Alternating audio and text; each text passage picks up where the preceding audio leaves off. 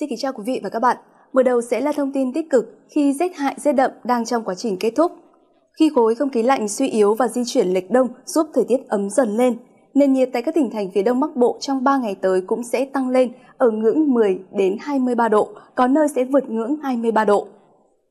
Tương tự tại các tỉnh thành phía Tây Bắc Bộ trong 3 ngày tới, nền nhiệt cũng tăng trở lại, trưa chiều giao động trong khoảng 20 đến 23 độ. Đáng lưu ý là tình trạng mưa phùn và sương mù lúc sáng sớm phần nào làm giảm tầm nhìn. Người dân cần chủ động giảm tốc độ để đảm bảo an toàn. Với khu vực Trung Bộ, các tỉnh từ Thanh Hóa đến Hà Tĩnh cũng sẽ có thời tiết tương tự như đồng bằng Bắc Bộ, khi phổ biến ít mưa, có sương mù lúc sáng sớm, cùng nền nhiệt tăng dần, giao động từ 12 đến 24 độ.